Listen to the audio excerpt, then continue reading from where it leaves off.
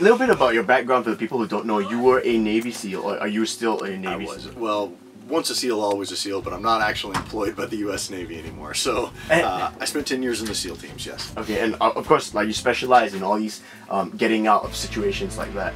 It's one aspect of our, our capabilities. Yeah. what, what are some of the scariest things you've done on the while on the road? Oh man, you know there have been so many different injuries, significant, um, uh, almost catastrophic things. People have been evacuated out of the jungle, um, evacuated out of uh, Panama. Um, I've had uh, camera guys quit and never come back.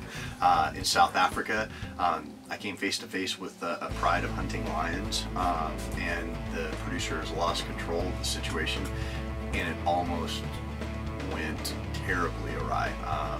You'll have to watch that episode to see what happens. But uh, there are some some pretty bad things that happen. But it's it's real. It's genuine. It's exciting. I'd do it all over again. The man that you are, you're, you're like a genuine American hero. I- I'm just a dude, man. I am just a Mark One motto dude. I've got a lot of friends of mine that are heroes, and uh, and I go visit their gravestones all the time. But I'm not a hero. I'm just a dude.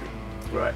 I'm sure you've you've come uh, you've you've come face to face with a situation where you've had to catch something to eat. I mean to survive. Oh, yeah. What is the, some of the, what, what is the weirdest or the scariest thing you've had to catch? Well, the scariest thing I had to get, probably the most intimidating dinner I had was uh, a three meter boa constrictor. You you take whatever you can get because the difference between my show and a regular survival show is that a survival show, survival is the point. You can take all the time you need to find your water, to catch your food, to, to build your your your bed, to create shelter. I can't. I'm being hunted. I'm on the run. I have to keep moving. There are dudes with incredible assets who want to own me for God and for country, you know? And so I have to, uh, I have to just take what I can get. A lot of times that's grasshoppers as I'm moving through, or termites in South Africa. You can break off a bit of a termite mound and just eat them as you move. Wow. Uh, or edible plants, if you know uh, what you can grab, you can just grab things and chew on them. You, I mean, you do stunts as well,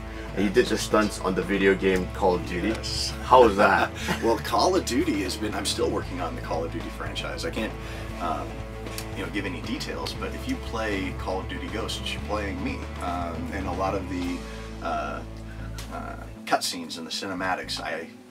I did all the, the motion capture for them. So usually, you know, all the reloads and the shooting and the moving and the crawling, that's all, I did all that stuff. So it was just been a lot of fun. I love working with those guys.